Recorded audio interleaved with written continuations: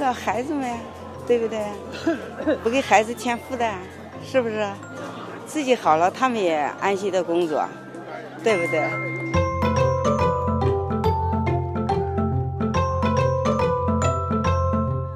像我吧，觉得从年轻时候就应该注重健康，呃，合理的呃那个饮食，呃，呃，就是比较，就是健康的生活方式。